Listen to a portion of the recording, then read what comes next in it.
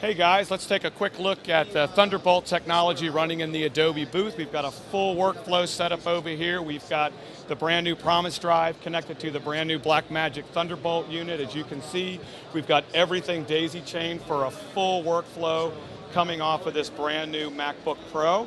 We've got Thunderbolt technology coming out of what was the display port, now is the display and Thunderbolt port.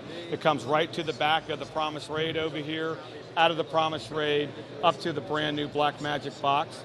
And as you can see here, we've got SDI coming out straight to a new iKan 7-inch uh, SDI field monitor.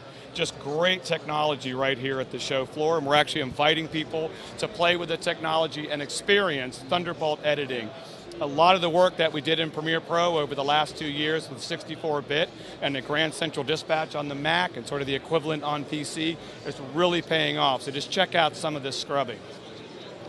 So as I come down on the timeline down here, I want to point out that a lot of these files that you see here are pretty big. These are uncompressed 158 meg per second files. So no, uh, no small stuff.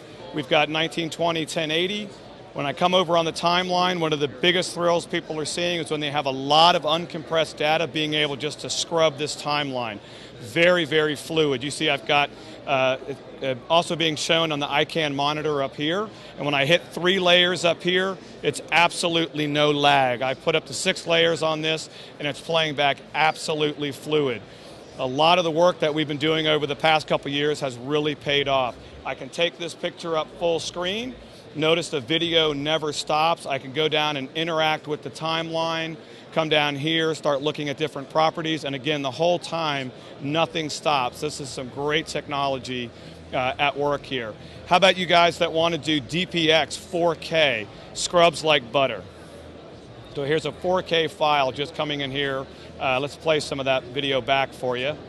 And it's just looking really, really smooth and uh, unbelievable. We've never had performance. A lot of the After Effects guys are asking me, what is this going to mean for After Effects? So how about coming into After Effects and scrubbing uncompressed footage at full?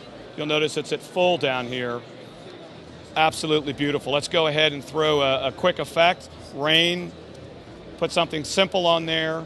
Absolutely cool. If I need, if the effects start to get a little bit heavy, we'll put that in After Effects auto mode, and you'll see I'm getting real frame rate over here. So again, Thunderbolt technology in our 64-bit bus or 64-bit uh, plane here is really working amazingly well.